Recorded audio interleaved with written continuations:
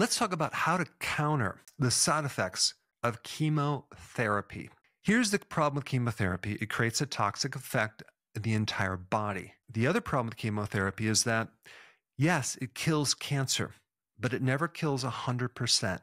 There's always a small amount left. The cancer cells that are not killed actually become stronger. So, this is like the biggest problem with oncologists dealing with the resistance after the first round of chemotherapy. The cancer comes back with a vengeance. So you need stronger chemotherapy, you need additional drugs, because now the cancer is very resistant. Last year, 20 million people worldwide got cancer. 9.7 million of them died. The most common cancer is lung cancer, followed by colorectal cancer. So, whether you have cancer or not, you may end up having a friend or loved one that has cancer, and you can share this information. Certain phytonutrients have protective effects against cancer. So I evaluated a lot of them, and I'm going to put the links down below, but there are five that I wanted to bring up and talk about because these five, they have chemo preventative factors. Okay, that's a little bit different than chemo protective factors chemo preventative factors actually do things to prevent cancer from happening in the first place and prevent needing chemotherapy. So when that pathway gets triggered or those genes, you are protected from oxidative stress, inflammation, free radical damage, you get better detoxification, and all five of the phytonutrients I'm going to mention have that effect as well. So, what are they? Number one, sulforaphane. That's in broccoli sprouts. So you can also do adult broccoli, but when you do the broccoli sprouts, it's like 20 to 50 times more concentrated. And it's in other cruciferous vegetables as well. Number two, resveratrol. Now, that's a common phytonutrient that helps anti aging as well, but it's powerful and potent um, phytonutrient that you can take if you're taking chemo as well. Next one on the list is quercetin. Okay, that's in onions, it's in a lot of other things. Then we get to the major compound in green tea, EGCG. And then the last one on the list is called allicin in garlic. Now, there's other things you can do too, which I'm going to get into next. One is cachexia. What is that? That is the wasting away of body tissue from certain diseases like cancer. Well, what's interesting about this is that over 50% of the people who have cancer die of this cachexia, not the cancer directly. And this problem can be greatly improved by taking magnesium. There's this huge connection between a magnesium deficiency and cachexia.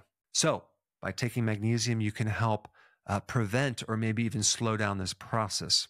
And now I'm going to talk about something even more interesting, and this is a, a trace mineral called selenium. Now, I recently learned about selenium in a whole different light from this book right here What Really Causes AIDS by Harold D. Foster. Wow, fascinating book. I'm not going to talk about AIDS, but I want to talk about the relationship between selenium and the immune system. So, what does AIDS stand for? Acquired immunodeficiency syndrome. You're deficient in something very specific in your immune system, the T helper cell. If you don't already know this, the T helper cell is like the general of an army. The T helper cell coordinates and manages the defense mechanism, all the different immune cells and what they should do and what they shouldn't be doing. And this cell is dependent on selenium. Now, What's interesting is that they found a direct correlation between a deficiency of these T helper cells and AIDS. But even more of an association with AIDS is a deficiency in selenium. If you're deficient in selenium, you can't make this general of your army. It, it just like it's non functional.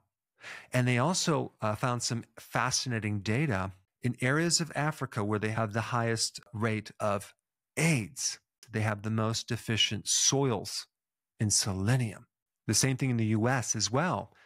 Areas of the country that are most deficient in selenium, as far as the soils go, have the highest rate of AIDS. Now, there's a lot more to talk about that in another video, but I want to mention two other immune cells that are dependent on selenium. One is the natural killer cell, the other one is the cytotoxic cell. With both of these have two jobs to kill viruses and to kill cancer. They are both dependent on selenium. So if I had AIDS, I would be taking 400 micrograms of selenium every single day. If I had cancer, I would want to strengthen my immune system and I would take at least 200 to 400 micrograms of selenium. Now, why would I take that? Because the chemo is destroying my immune system. That is one big problem. It may not lessen the side effects, but it may strengthen your defenses against cancer. All right, so I talked about the five phytonutrients. I talked about magnesium, selenium. What else is there? Intermittent fasting and prolonged fasting. I've done other videos on this topic.